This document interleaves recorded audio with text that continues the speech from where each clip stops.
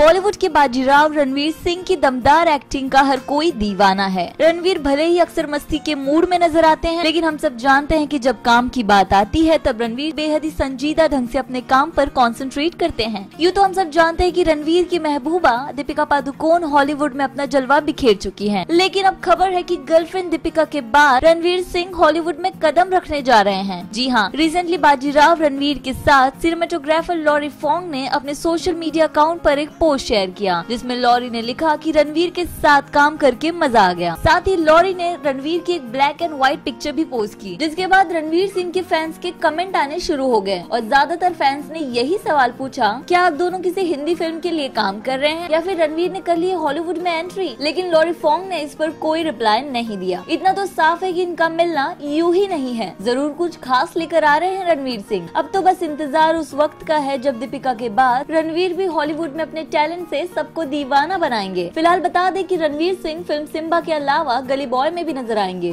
अगर आप भी रणवीर को हॉलीवुड में एक्टिंग करते देखना चाहते हैं तो कमेंट बॉक्स में लिख के जरूर बताएं और सब्सक्राइब करना बिल्कुल ना भूलें